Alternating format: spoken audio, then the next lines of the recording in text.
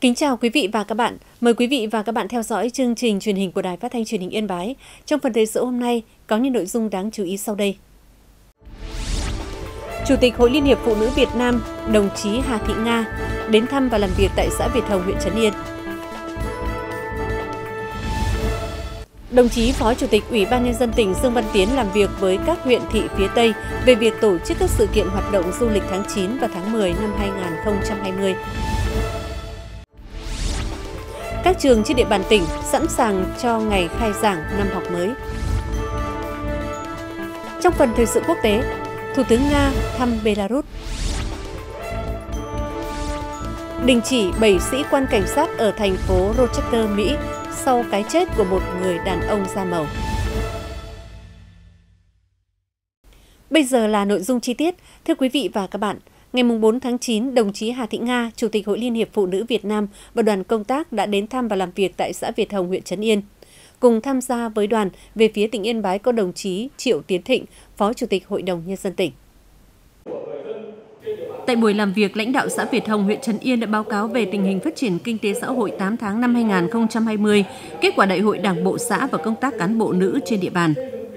Theo đó, năm 2020, xã Việt Hồng tiếp tục duy trì và nâng cao chất lượng các tiêu chí xã nông thôn mới. Phần đầu tháng 10 năm 2020, bản Vần được công nhận nông thôn mới kiểu mẫu. Tỷ lệ hộ nghèo giảm còn 5,79%, cận nghèo 3,25%.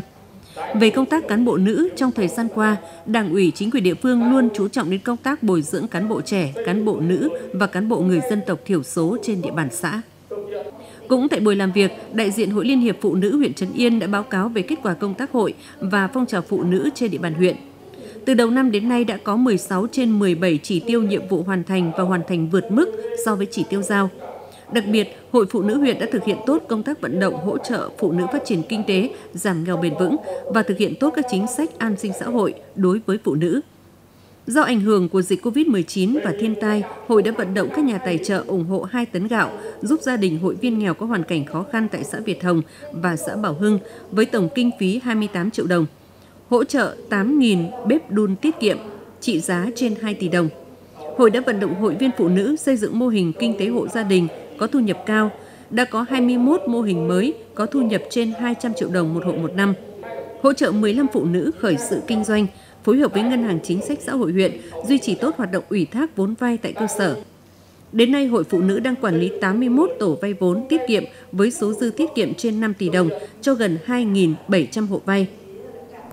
Phát biểu tại buổi làm việc, đồng chí Hà Thị Nga, Chủ tịch Hội Liên hiệp Phụ nữ Việt Nam đã ghi nhận và biểu dương những kết quả đã đạt được của Đảng bộ, chính quyền và nhân dân xã Việt Hồng nói riêng và huyện Trấn Yên nói chung. Đồng thời nhấn mạnh, những kết quả nổi bật này là nhờ sự nỗ lực của cả hệ thống chính trị, đặc biệt Trấn Yên là huyện đầu tiên của khu vực miền núi phía Bắc về đích xây dựng nông thôn mới. Để xứng đáng là lá cờ đầu trong xây dựng nông thôn mới, đồng chí mong muốn huyện Trấn Yên nói chung và xã Việt Hồng nói riêng cần tiếp tục dành sự quan tâm chăm lo tới công tác cán bộ, đặc biệt là công tác cán bộ nữ, đẩy mạnh phát triển kinh tế, phát triển du lịch, quan tâm đến công tác phụ nữ và trẻ em, Nhân dịp này, đồng chí Hà Thị Nga, Chủ tịch Hội Liên hiệp Phụ nữ Việt Nam đã tặng quà cho các em học sinh có hoàn cảnh khó khăn của trường tiểu học và trung học cơ sở xã Việt Hồng, huyện Trấn Yên. Cùng ngày, đồng chí Hà Thị Nga, Chủ tịch Hội Liên hiệp Phụ nữ Việt Nam cũng đã thăm và làm việc tại cơ quan Hội Liên hiệp Phụ nữ tỉnh. Trong 8 tháng qua, các cấp hội phụ nữ toàn tỉnh đã có nhiều đổi mới sáng tạo, quyết tâm cao trong triển khai thực hiện các phong trào thi đua, chương trình công tác trọng tâm của hội, các đợt thi đua do Hội Liên hiệp Phụ nữ phát động đã nhận được sự đồng thuận cao trong các tầng lớp cán bộ, hội viên phụ nữ nhiệt tình hưởng ứng. Đặc biệt, hội đã thực hiện 13 trên 15 chỉ tiêu hoàn thành và hoàn thành vượt mức kế hoạch của Trung ương hội và chương trình hành động 190 của tỉnh ủy Yên Bái. Trong 8 tháng, các cấp hội cũng đã tổ chức trên 2.000 hoạt động tuyên truyền, giáo dục, nâng cao kiến thức kỹ năng cho phụ nữ, thu hút 142.000 lượt hội viên tham gia hoàn thành 1.655 công trình phần việc chào mừng Đại hội Đảng các cấp. Phong trào thi đua phụ nữ Yên Bái chung tay may và phát khẩu trang miễn phí phòng chống dịch COVID-19. Phong trào phụ nữ Yên Bái với môi trường xanh sạch đẹp chào mừng Đại hội Đảng bộ tỉnh Yên Bái lần thứ 19 và kỷ niệm 90 năm thành lập Hội Liên hiệp Phụ nữ Việt Nam 20 tháng 10 năm 1930, 20 tháng 10 năm 2020. Phát biểu tại buổi làm việc, đồng chí Hà Thị Nga, Chủ tịch Hội Liên hiệp Phụ nữ Việt Nam mong muốn các cấp hội Liên hiệp Phụ nữ tỉnh Yên Bái quan tâm hơn nữa đến công tác hội, tăng cường tập hợp thu hút hội viên. Năm 2021 sẽ diễn ra Đại hội Phụ nữ các cấp. Vì vậy, các cấp hội cần lựa chọn các phong trào, các cuộc vận động phù hợp sát với tình hình thực tiễn để lãnh đạo chỉ đạo thành công Đại hội các cấp. Ngày 4 tháng 9 năm 2020, tại xã Suối Giàng, huyện Văn Chấn, đồng chí Dương Văn Tiến, Phó Chủ tịch Ủy ban nhân dân tỉnh chủ trì buổi làm việc với các huyện Văn Chấn, Mù Căng Trải và thị xã Nghĩa Lộ về việc tổ chức các sự kiện hoạt động du lịch trong tháng 9 và tháng 10 năm 2020. Trên cơ sở kế hoạch 32 của Ủy ban Nhân dân tỉnh Yên Bái về phát triển du lịch tỉnh Yên Bái năm 2020, theo kế hoạch dự kiến của các huyện thị phía Tây, xây dựng kế hoạch quảng bá và tổ chức các hoạt động nhằm thu hút du khách đến tham quan khám phá. Đối với thị xã Nghi Lộ sẽ tổ chức khai mạc lễ hội văn hóa du lịch Mường Lò tại sâm động thị xã Nghi Lộ vào ngày 27 tháng 9 với các tiết mục văn hóa văn nghệ đặc sắc cùng màn đại xòe với sự tham gia của 2.020 diễn viên và diễu diễn đường phố. Bên cạnh đó, thị xã Nghi Lộ cũng tổ chức hội trợ thương mại và ẩm thực, triển lãm ảnh nghệ thuật, trình diễn trang phục truyền thống các dân tộc, không gian trải nghiệm cho khách du lịch, lễ hội ánh sáng và tuần lễ âm nhạc. Đối với huyện vùng cao Mù Căng Trải sẽ tổ chức các hoạt động như festival dù lượn bay trên mùa vàng, khởi động xây dựng thương hiệu giải marathon khám phá Mù Căng Trải. Chương trình đón nhận bằng công nhận danh thắng quốc gia đặc biệt ruộng bậc thang Mù Căng Trải cùng các hoạt động phụ trong suốt thời gian lễ hội như triển lãm ảnh, phiên chợ vùng cao, hội thi trọi dê, thi vẽ hoa văn trên vải bằng sáp ong, thi dạ bánh dày, lễ mừng cơm mới, gặt lúa nhanh, các tour du lịch tham quan trải nghiệm khám phá. Huyện Trạm Tấu tổ chức cuộc thi trải nghiệm leo núi Tà Xùa, khám phá đồi thông eo gió, khám phá các nét đẹp văn hóa dân tộc Mông và Thái. Còn đối với huyện Văn Chấn sẽ tổ chức lễ hội tôn vinh cây trẻ cổ và thưởng thức trà suối giang, hội thi xã cốm tại xã Tu Lệ. Để đáp ứng nhu cầu về lưu trú, các huyện thị cũng đã bố trí các nhà nghỉ, khách sạn, các homestay đón khách. Cùng với đó, công tác đảm bảo an ninh trật tự, an toàn vệ sinh thực phẩm cũng được các địa phương chuẩn bị chú đáo. Kết luận buổi làm việc, đồng chí Dương Văn Tiến, Phó Chủ tịch Ủy ban Nhân dân tỉnh đánh giá cao sự chuẩn bị của các địa phương để tổ chức các hoạt động, sự kiện và hoạt động du lịch. Đồng chí Phó Chủ tịch Ủy ban Nhân dân tỉnh cũng yêu cầu các huyện thị cần tổ chức tiết kiệm, trang trọng, đi vào chiều sâu chất lượng, nâng cao chất lượng dịch vụ phục vụ du khách đối với các sản phẩm du lịch, đồng thời tổ chức thêm các sản phẩm du lịch mới, đảm bảo chuyên nghiệp. Trước hết tăng cường công tác tuyên truyền quảng bá các địa điểm du lịch và những sản phẩm đặc sản đến du khách. Đồng chí Phó Chủ tịch Ủy ban Nhân dân tỉnh Dương Văn Tiến giao Sở Văn hóa Thể thao chủ trì việc liên kết giữa các địa phương phía Tây trong tổ chức các hoạt động đảm bảo an toàn cho người dân và du khách. Trước đó, đồng chí Dương Văn Tiến, Phó Chủ tịch Ủy ban Nhân dân tỉnh cùng đoàn công tác đã đến kiểm tra tiến độ thực hiện đề án hỗ trợ nhà ở cho gia đình có công với cách mạng và hộ nghèo đặc biệt khó khăn về nhà ở năm 2020 trên địa bàn huyện Văn Chấn. Qua giả soát, toàn huyện Văn Chấn có 83 nhà được hưởng hỗ trợ theo đề án. Đến ngày 28 tháng 8 năm 2020, việc xây dựng nhà ở cho các hộ đảm bảo chất lượng tiến độ theo đúng quy định. Cụ thể có 11 nhà thuộc đối tượng người có công được hỗ trợ, trong đó 7 nhà làm mới và 4 nhà sửa chữa, 72 nhà làm mới thuộc diện hộ nghèo. Kiểm tra thực tế việc thực hiện đề án hỗ trợ làm nhà cho gia đình có công và hộ nghèo khó khăn về nhà ở, đồng chí Dương Văn Tiến đã đánh giá cao những nỗ lực của huyện Văn Chấn trong việc triển khai thực hiện đề án, Đồng chí yêu cầu huyện Văn Chấn cần có tổng kết, đúc rút kinh nghiệm và xây dựng báo cáo đánh giá sự vào cuộc đóng góp của các tổ chức cá nhân trong việc thực hiện triển khai đề án để đề xuất khen thưởng. Ngày 4 tháng 9, Ủy ban Nhân dân tỉnh Yên Bái phối hợp với Ban chỉ đạo liên ngành Hội nhập quốc tế về kinh tế Bộ Công Thương tổ chức hội nghị trực tuyến tới điểm cầu các huyện thị, thành phố, tập huấn tuyên truyền về hội nhập kinh tế quốc tế năm 2020 đối với các cơ quan đơn vị doanh nghiệp, hợp tác xã trên địa bàn tỉnh Yên Bái. Tại hội nghị, lãnh đạo Ban chỉ đạo liên ngành hội nhập quốc tế về kinh tế Bộ Công Thương đã trình bày chuyên đề hội nhập quốc tế giai đoạn mới và các nội dung như xung đột thương mại giữa các nền kinh tế, các vấn đề lưu ý trong hội nhập kinh tế quốc tế, những thuận lợi và khó khăn của Việt Nam khi tham gia các hiệp định thương mại CPTPP, EVFTA, đánh giá tác động của dịch COVID-19 đến phát triển kinh tế xã hội nói chung và hội nhập kinh tế quốc tế nói riêng. Các đại biểu tham dự hội nghị cũng đã giới thiệu chuyên đề nâng cao năng lực hội nhập kinh tế của tỉnh Yên Bái, bao gồm các vấn đề như năng lực hội nhập kinh tế quốc tế của tỉnh Yên Bái, các yếu tố có ảnh hưởng tới năng lực hội nhập kinh tế quốc tế của địa phương, thương mại, đầu tư, du lịch, cơ sở tầng, con người, văn hóa, thể chế, đặc điểm địa phương. Lãnh đạo Cục Chế biến và Phát triển thị trường nông sản thuộc Bộ Nông nghiệp và Phát triển nông thôn cũng trình bày chuyên đề định hướng phát triển thị trường xuất khẩu nông sản của Việt Nam trong bối cảnh mới. Những vấn đề địa phương và doanh nghiệp tỉnh Yên Bái cần lưu ý. cam kết mở rộng thị trường nông sản trong hiệp định CPTPP và EVFTA, cơ hội và thách thức đối với doanh nghiệp tỉnh Yên Bái hiện nay và những năm tiếp theo. Qua hội nghị này, giúp các cơ quan quản lý nhà nước từng bước nâng cao hiệu quả trong công tác tham mưu về hội nhập kinh tế quốc tế. Các cơ sở doanh nghiệp trên địa bàn có kế hoạch và chiến lược phát triển sản xuất kinh doanh phù hợp, đa dạng hóa sản phẩm, mở rộng thị trường tiêu thụ, nâng cao năng lực cạnh tranh trong thời gian tới. Trọng tâm là hiệp định EVFTA và hiệp định CPTPP. Sáng ngày 4 tháng 9, Ủy ban nhân dân thành phố Yên Bái tổ chức công bố quyết định của Ủy ban nhân dân tỉnh Yên Bái công nhận các xã Tuy Lộc, Minh Bảo, Âu Lâu đạt chuẩn nông thôn mới nâng cao năm 2020. Ngay sau khi được công nhận xã đạt chuẩn nông thôn mới, các xã Tuy Lộc, Minh Bảo và Âu Lâu của thành phố Yên Bái đã vận động nhân dân thực hiện các tiêu chí xây dựng nông thôn mới nâng cao, huy động các nguồn lực, nhất là trong nhân dân để đầu tư phát triển sản xuất, nâng cao thu nhập, xóa đói giảm nghèo, xây dựng cảnh quan môi trường. Đến nay tất cả các tuyến đường trục thôn, xóm, đường liên thôn xóm ở các xã đã được bê tông hóa, triển khai lắp đặt hệ thống đường điện chiếu sáng và biển báo. Cùng với đó, ba xã đã duy trì giữ vững các tiêu chí trường chuẩn quốc gia, thực hiện hiệu quả việc dạy và học, bảo quản cơ sở vật chất, nâng cao chất lượng giáo dục, cơ sở vật chất văn hóa tiếp tục được đầu tư nâng cấp. Các xã đã hình thành các vùng sản xuất hàng hóa tập trung đối với các sản phẩm chủ lực và sản xuất liên kết theo chuỗi giá trị như rau an toàn tại xã Thủy Lộc, Âu Lâu, chè Bát Tiên và mật ong Minh Bảo. Các mô hình sản xuất chăn nuôi hiệu quả đã góp phần nâng cao thu nhập, giảm tỷ lệ hộ nghèo trên địa bàn. Năm 2020, thu nhập bình quân đầu người của xã Tuy Lộc đạt trên 54 triệu đồng một người một năm, Minh Bảo đạt hơn 44 triệu đồng một người một năm và xã Âu Lâu đạt trên 53 triệu đồng một người một năm. Tỷ lệ hộ nghèo giảm đáng kể. Tỷ lệ hài lòng của người dân trong việc giải quyết các thủ tục hành chính đều đạt 100%. Giáo dục, y tế, văn hóa, cảnh quan môi trường được quan tâm đảm bảo, an ninh trật tự được giữ vững. Cả ba xã đã hoàn thành toàn bộ 5 tiêu chí nông thôn mới nâng cao. Tại lễ công bố, lãnh đạo Sở Nông nghiệp và Phát triển nông thôn đã trao bằng công nhận đạt chuẩn nông thôn mới nâng cao năm 2020 cho Đảng bộ, chính quyền và nhân dân các xã Tuy Lộc, Minh Bảo và Âu Lâu. Nhân dịp này, Ủy ban dân tỉnh đã tặng bằng khen cho 3 tập thể và 3 cá nhân có thành tích xuất sắc trong phong trào thi đua Yên Bái chung sức xây dựng nông thôn mới, xây dựng xã đạt chuẩn nông thôn mới nâng cao năm 2020 tại thành phố Yên Bái. Ủy ban dân thành phố Yên Bái cũng khen thưởng cho 3 tập thể và 9 cá nhân có thành tích xuất sắc trong phong trào thi đua xây dựng nông thôn mới nâng cao tại các xã Tuy Lộc, Minh Bảo và Âu Lộc. Ngày 4 tháng 9, tại Sở Lao động Thương binh Xã hội, Ban đại diện Hội người cao tuổi tỉnh tổ chức hội nghị bàn các giải pháp tổ chức lễ phát động tháng hành động vì người cao tuổi Việt Nam tỉnh Yên Bái và giải bóng truyền hơi người cao tuổi tỉnh Yên Bái lần thứ 5 năm 2020 diễn ra sắp tới.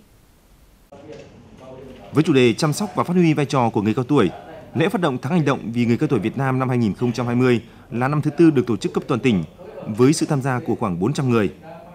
Giải bóng truyền hơi người cao tuổi của tỉnh lần thứ 5 năm 2020 dự kiến 18 đội với 180 vận động viên tham gia thi đấu.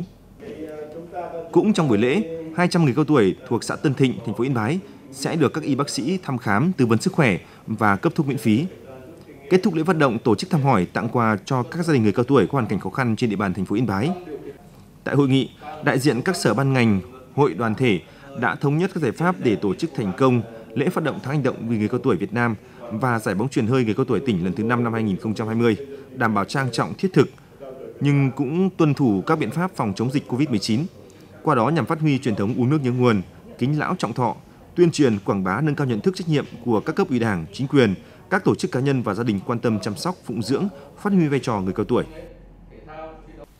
Ngày 4 tháng 9 tại công ty cổ phần đường sắt Yên Lào, Công đoàn Tổng công ty Đường sắt Việt Nam đã trao quà hỗ trợ cho 4 học sinh có bố mẹ là công nhân công ty cổ phần Đường sắt Yên Lào có hoàn cảnh khó khăn.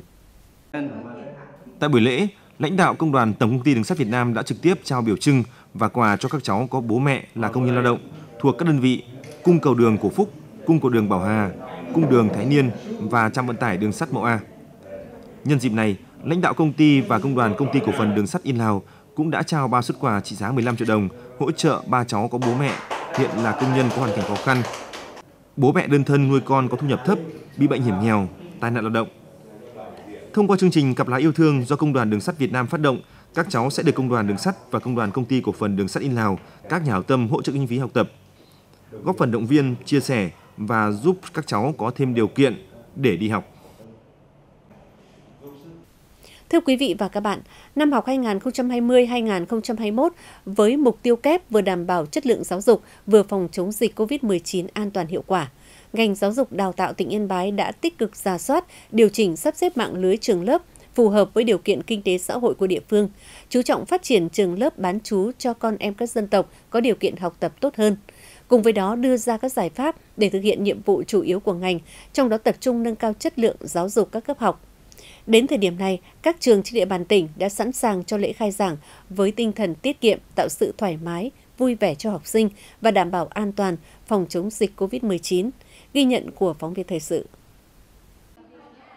Đến thời điểm này, trường mầm non xã Đông Quang, huyện Văn Yên đã hoàn tất công tác chuẩn bị cho ngày khai giảng năm học mới, năm học 2020-2021. Nhà trường có 390 trẻ ở 14 lớp. Nhằm nâng cao chất lượng chăm sóc, nuôi dưỡng và giáo dục trẻ, nhà trường được đầu tư cơ sở vật chất, mua trên 70 bộ bàn ghế với tổng kinh phí trên 120 triệu đồng từ ngân sách của huyện và từ nguồn xã hội hóa trên 60 triệu đồng để tu sửa lại trường lớp và trang thiết bị dạy và học. Do ảnh hưởng của dịch bệnh COVID-19, để đảm bảo an toàn, nhà trường đã tiến hành vệ sinh khử khuẩn các thiết bị, đồ dùng, đồ chơi, vệ sinh trường lớp học. Ngay từ đầu năm từ ngay từ đầu tháng 8 và chúng tôi đã cho tập thể cán bộ giáo viên cũng phối hợp với phụ huynh để cùng lao động vệ sinh toàn khu vực nhà trường Trước tiên thì chúng tôi cũng đã lao động toàn cái khu vực vệ sinh ở ngoài khuôn viên trường để đảm bảo được cái môi trường xanh sạch đẹp cho các cháu. Và trong lớp thì chúng tôi cũng đã à, cụ thể bằng các công việc như là ở trên sân trường thì rất là nhiều rêu mốc do cái thời gian nghỉ kéo dài, thời tiết mưa ẩm thì chúng tôi đã rắc vôi quét rất là đảm bảo sạch sẽ. Trong lớp thì các đồ dùng vệ sinh, đồ dùng học tập của cháu như là bàn ghế học sinh thì chúng tôi đã chỉ đạo cho nhân viên y tế phối hợp để à, cho giáo viên chủ nhiệm lớp pha đúng cái tỷ lệ dung dịch chloramin B để cho các cô cọ rửa đồ dùng đồ chơi cũng như là lau mặt sàn, mặt bàn ghế và các cửa kính tay nắm cửa thì chúng tôi đảm bảo. Thế về cái, cái trang thiết bị phục vụ cho công tác phòng dịch thì chúng tôi cũng đã à, đảm bảo về các nước sát khuẩn và xà phòng rửa tay cũng như là đã kiến thiết sửa chữa làm thêm một số cái hệ thống vòi rửa tay cho các cháu. Năm học 2020-2021, trường tiểu học và trung học cơ sở Mậu Đông, huyện Văn Yên có trên 700 học sinh ở 23 lớp. Được sự quan tâm của tỉnh và huyện, nhà trường đã được đầu tư xây dựng một khu nhà hành chính quản trị, 4 phòng học bộ môn, một phòng học văn hóa, một phòng thư viện, một phòng giáo dục nghệ thuật với tổng kinh phí trên 8 tỷ đồng. Là năm đầu tiên thực hiện chương trình giáo dục phổ thông mới, nhà trường đã đặt mua trên 80 bộ sách giáo khoa và bộ đồ dùng học tập cho học sinh lớp 1. Đặc biệt, để đảm bảo phòng chống dịch COVID-19, nhà trường đã tuyên truyền cho học sinh đeo khẩu trang, sát khuẩn tay, đo thân nhiệt và giãn cách để phòng chống dịch bệnh COVID-19. Nhà trường đã huy động đảm bảo 100% số lượng học sinh theo kế hoạch giao. À, và đặc biệt là trong năm học này thì thời điểm khai giảng đang trong cái giai đoạn là cả nước chúng ta chung tay để phòng chống dịch à, Covid-19. Nhà trường cũng đã tuyên truyền đến toàn thể phụ huynh và học sinh sẽ thực hiện tốt các biện pháp phòng dịch à, trong à, thời điểm đến trường và chúng tôi là à, đã có lịch là sẽ huy động học sinh đến trường tập trung kể từ ngày mùng 1 tháng 9 năm 2020. 100% học sinh khi đến trường sẽ được à, phải thực hiện đeo khẩu trang, sát khuẩn tay à, và bộ phận y tế sẽ có ừ, cái công tác chuẩn bị để kiểm tra thân nhiệt đón học sinh đảm bảo các điều kiện an toàn khi các em đến trường. Năm học 2020-2021, huyện Văn Yên có 63 đơn vị trường với trên 32.000 học sinh, trong đó trên 2.870 học sinh vào lớp 1, tăng 440 học sinh so với năm học trước. Trước thềm năm học mới, huyện Văn Yên được đầu tư xây dựng 60 phòng học, 10 phòng ở, 15 phòng học bộ môn, 8 công trình bếp ăn và một số công trình phụ trợ khác, với tổng kinh phí gần 76 tỷ đồng, trong đó xã hội hóa được trên 8 tỷ đồng. Đặc biệt, là năm học đầu tiên triển khai chương trình giáo dục phổ thông mới. Vì vậy, 100% giáo viên dạy lớp 1 được tập huấn, bồi dưỡng chương trình sách giáo khoa phổ thông mới. Ngoài ra, Phòng Giáo dục Đào tạo huyện còn cấp gần 300 bộ bàn ghế cho giáo viên và học sinh, 260 bộ giường tầng, bàn ghế ăn cho học sinh bán chú, trên 200 bộ thiết bị dạy học. Đến thời điểm này, mọi công tác chuẩn bị cho năm học mới ở các trường học trên địa bàn huyện Văn Yên đã hoàn tất, sẵn sàng cho ngày hội toàn dân đưa trẻ tới trường. Để chuẩn bị tốt các điều kiện cho năm học mới, thì Phòng Giáo dục và Đào tạo đã tham mưu cho huyện ủy ban hành công văn số 68 à, về việc à, lãnh đạo chuẩn bị các cái điều kiện cho năm học mới. À, bên cạnh đó, thì Phòng Giáo dục và Đào tạo đã chỉ đạo các đơn vị trường thực hiện tốt công tác chiêu sinh, tuyển sinh, huy động tối đa trẻ trong độ tuổi ra lớp, tổ chức ừ, bồi dưỡng chính trị, bồi dưỡng chuyên môn cho đội ngũ nhà giáo, giả soát sắp xếp cơ sở vật chất, thiết bị dạy học, tổ chức lao động, vệ sinh để củng cố các cái điều kiện về cảnh quan trường lớp học. À, bên cạnh đó, tôi chỉ đạo các đơn vị nhà trường tổ chức cho giáo viên, học sinh mượn sách giáo khoa, à, phân công nhiệm vụ và xây dựng cái thời khóa biểu. À, cho đến thời điểm này thì về cơ bản các trường đã à, đảm bảo đầy đủ các điều kiện để sẵn sàng cho năm học mới. Tại trường tiểu học Kim Đồng, huyện Yên Bình, năm học này nhà trường có trên 710 học sinh ở 20 lớp, trong đó 135 học sinh vào lớp 1. Để chuẩn bị năm học mới, nhà trường được đầu tư trang thiết bị cho các phòng học chức năng và các phòng học bộ môn với tổng kinh phí gần 100 triệu đồng. Tu sửa lại khu nhà bếp ăn, hệ thống đường điện, chuẩn bị đầy đủ sách giáo khoa cho học sinh lớp 1, đồng thời tổ chức vệ sinh, chỉnh trang trường lớp, tạo cảnh quan môi trường sáng, xanh, sạch, đẹp, đồng thời thực hiện nghiêm các biện pháp phòng chống dịch COVID-19 theo quy định. À, nhà trường chúng tôi đã chuẩn bị à, rất là đầy đủ. Thứ nhất về à, À, cơ sở vật chất thì ngay từ trong hè à, chúng tôi đã cho nâng cấp và sửa một số những hạng mục à, như là đường điện này, và bàn ghế tu sửa cho các em để tạo điều kiện tốt cho năm học mới. Tất cả các đồng chí dạy khối 1 thì đều có chuyên môn vững vàng để chuẩn bị tốt hơn cho cái ngày khai giảng thì nhà trường cũng đã bên đội cũng đã cho tập một số cái nghi thức để chào đón học sinh lớp 1 theo đúng cái chương trình như năm nay là của sở là thực hiện là không quá 45 phút. Ờ, công tác ờ, chuẩn bị cho năm học mới thì cái việc ờ, bố trí cơ sở vật chất thì hiện nay đối với tiểu học chúng tôi đảm bảo cái tỷ lệ là một một mỗi một lớp tiểu học thì có một phòng còn lại đối với mầm non và trung học cơ sở thì đảm bảo đủ các cái điều kiện để phục vụ cho công tác dạy và học còn đối với sách giáo khoa lớp 1 và thiết bị lớp 1 thì chúng tôi đã cung ứng cho các đơn vị nhà trường à, xong trước ngày à, mùng 1 tháng 9 năm 2021 và có thể nói đến hiện tại thì công tác chuẩn bị cho năm học mới và chuẩn bị cho khai giảng học mới đối với Yên Bình chúng tôi đã sẵn sàng. Năm học 2020-2021, tỉnh Yên Bái có trên 222.000 học sinh ở 443 trường với gần 7.000 nhóm lớp, trong đó trên 17.640 học sinh vào lớp 1. Để chuẩn bị cho năm học mới 2020-2021 và ngày khai giảng mùng 5 tháng 9, Sở Giáo dục và Đào tạo Yên Bái đã triển khai các văn bản hướng dẫn của Bộ Giáo dục Đào tạo và của Ủy ban nhân dân tỉnh đến các đơn vị giáo dục và chỉ đạo phòng giáo dục đào tạo 9 huyện thị và thành phố sắp xếp điều động đội ngũ giáo viên giữa các cấp học để đảm bảo đủ giáo viên giảng dạy ở các trường. Đây là năm học đầu tiên triển khai chương trình sách giáo khoa giáo dục phổ thông năm 2018. Sở Giáo dục Đào tạo đã phối hợp với các sở ngành, Ủy ban nhân dân các huyện thị và thành phố chuẩn bị đầy đủ về cơ sở vật chất, sách giáo khoa, đội ngũ giáo viên triển khai chương trình sách giáo khoa phổ thông mới. Chỉ đạo các cơ sở giáo dục huy động các nguồn lực để tu bổ cơ sở vật chất, trang thiết bị trường lớp học. Đến nay, toàn tỉnh đã và đang đầu tư xây dựng trên 200 phòng học, 48 phòng ở bán trú, trên 100 phòng học tương tác và phòng học ngoại ngữ, tu sửa trên 200 phòng học và các công trình phụ trợ khác, hỗ trợ mua sách giáo khoa và trang thiết bị dạy học với tổng kinh phí gần 570 tỷ đồng. Do tình hình dịch bệnh COVID-19, các đơn vị trường sẽ tổ chức khai giảng không quá 45 phút, ngắn gọn, phù hợp với đối tượng học sinh. Đặc biệt, tùy theo điều kiện của từng nhà trường, có thể triệu tập số học sinh dự khai giảng sao cho phù hợp. Để chuẩn bị cho triển khai năm học à, 2020-2021, thì à, Sở đã à, thứ nhất là tham mưu với Ủy ban nhân tỉnh ban hành cái kế hoạch khung thời gian kế hoạch năm học. Thứ hai là chỉ thị của Chủ tịch ban tỉnh về năm học mới và các cái văn bản hướng dẫn cũng như là chỉ đạo cái thực hiện nhiệm vụ của năm học và chúng tôi cũng chỉ đạo các cái cơ sở giáo dục là chuẩn bị thật tốt các cái điều kiện, đặc biệt là quan tâm tới cái lớp 1 thực hiện cái chương trình giáo dục phổ thông 18 à, các cái điều kiện à, về sách giáo khoa, về đảm bảo cái phòng học để tổ chức học hai buổi trên ngày,